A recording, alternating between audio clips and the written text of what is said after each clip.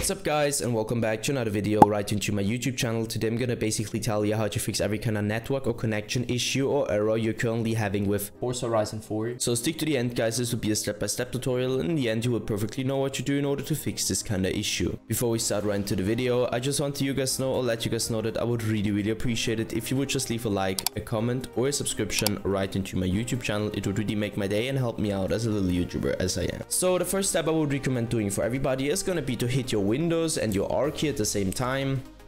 This tab will pop up. I want you to type in what I already typed in, so CMD. You're gonna hit enter or OK. This tab will pop up and I want you to type in what I'm gonna type in, so ipconfig space slash flush DNS and hit enter. Once it is successfully flushed, as you can see, you should be able to end this task again.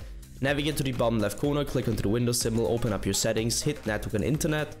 And now I want you to click network and sharing center, so onto this one. And as you can see, there is this uh, tab called troubleshoot problems. You're gonna click on that, so the blueprint text, and it will uh, you're gonna use your windows in order to find any kind of issue you currently have. Afterwards, hit change adapter settings to the top left corner, the second link. You're gonna stick to the spot where it either says internet or ethernet, it just depends on which one you're currently using. So you're gonna right click it, disable. Once it is disabled, wait a few seconds, enable it again.